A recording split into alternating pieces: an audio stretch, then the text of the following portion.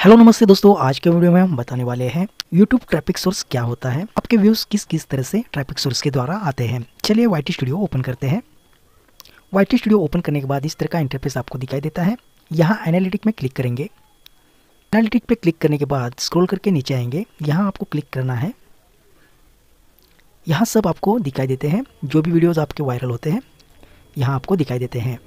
यहाँ एक videos viral है, आप देख सकते हैं। मैं यहाँ क्लिक करता हूँ। यहाँ क्लिक करने के बाद आप देख सकते हैं यहाँ shorts feeds YouTube search YouTube advertising browse features और चैनल पेज तो देखिए दोस्तों यूट्यूब एडवर्टाइजिंग क्या होता है?